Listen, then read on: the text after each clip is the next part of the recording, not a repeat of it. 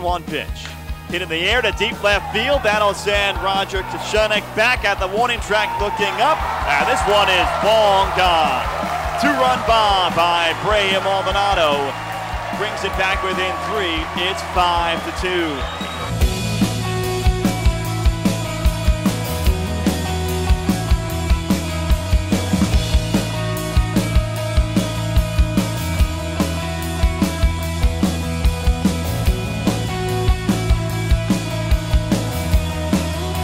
Rips this one to deep left field. Maldonado back on the warning track, leaping. Did he make the grab?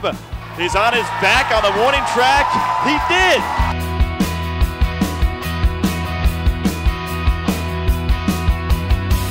Lift into right center field. Sends Ford on the run. He makes a diving grab and he holds on to the baseball.